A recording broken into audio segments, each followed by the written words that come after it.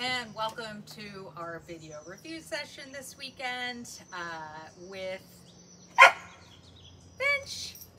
Is that your way of saying hello? We have been working this week, uh, continuing our uh, challenges of walking out on the streets. We have intentionally gone down twice to the bike path in Mill Valley and walked there with, um, it's funny because some days really successful, other days not so much. Um, I've switched off with Melissa and even in the same time span, she had some struggles and I didn't. And so it's just funny. It's just, it's super funny.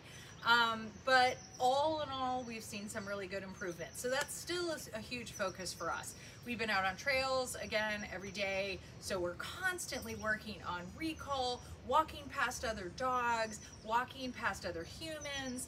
Those are all skills I really want um, him to be good at.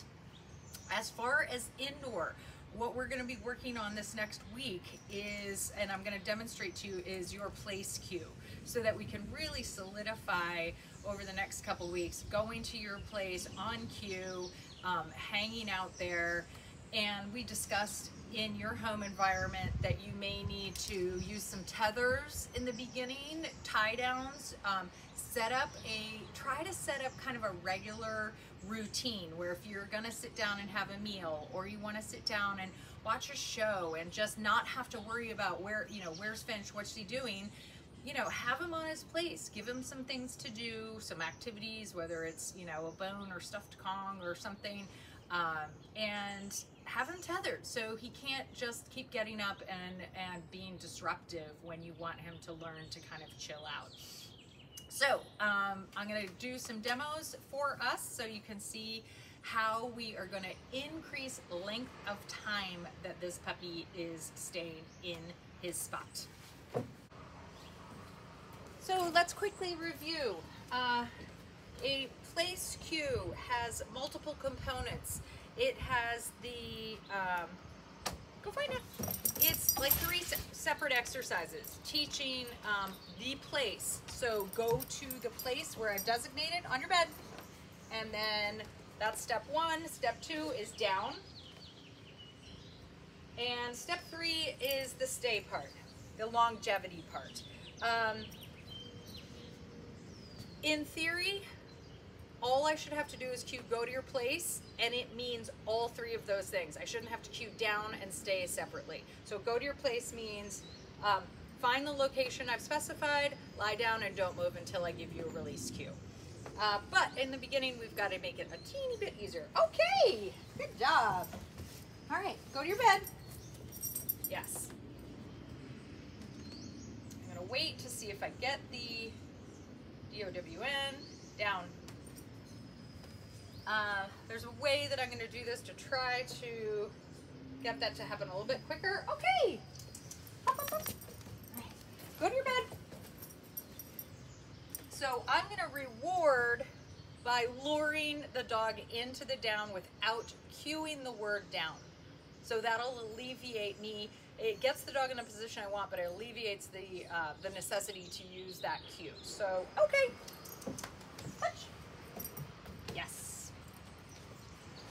Go to your bed.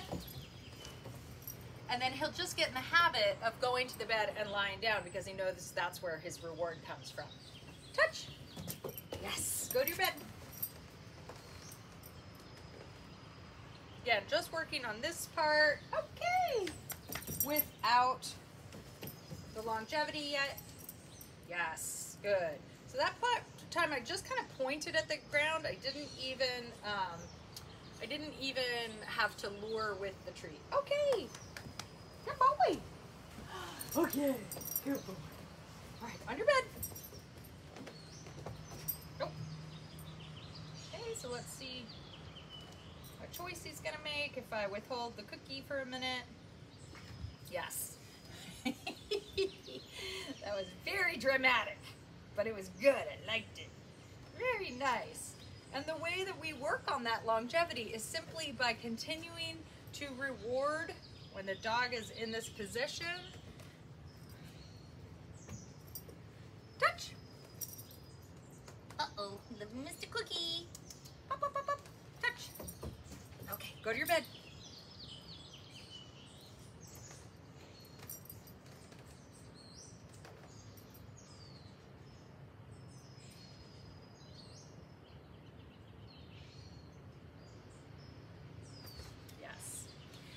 So, okay. So I want you to think about what just happened here. I want to be very clear that I am giving that dog time to figure out how to make the choices that I'm looking for. So the choice I'm looking for is get your bed and lie down. And I don't want to have to keep giving hints and cues. So I'm just also waiting for him to just decide to, yes, good boy, good boy. Think about when you have asked for something, not then continuing to give hints verbally and physically, giving that dog time to process is really, really important in the training process. So it's um, really hard for most of my clients to not be saying stuff all the time. Uh, dog gets to the bed, just sits there and looks at you. No, uh-uh, down, lie down, um, you know, a million different verbal cues. It just, you don't do that. Just, just don't. Okay, so let's try it again. I'm gonna make this harder by staying in my seat this time. Touch. Okay, go to your bed. Hey, I've changed the rules. I'm not standing up anymore. Go to your bed.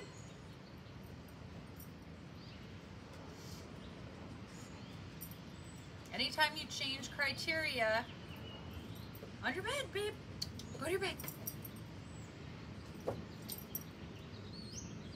And toss a cookie. Go to your bed. There we go. Nice. I'm just going to toss cookies for getting up there while I am sitting in a position. Touch. Go to your bed.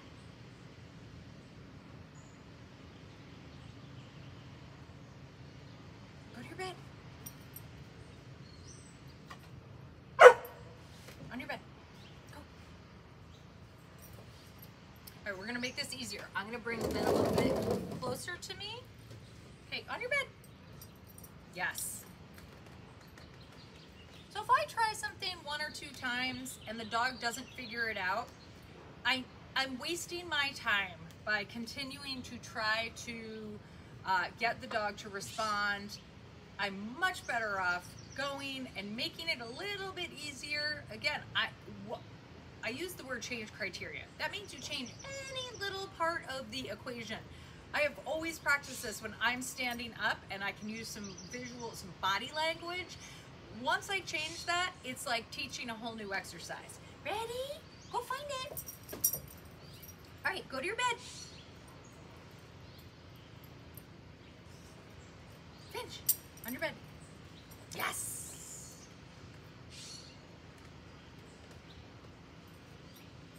He's a good boy. Okay.